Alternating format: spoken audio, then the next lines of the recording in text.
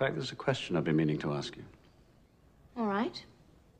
As long as it's not, will you marry me?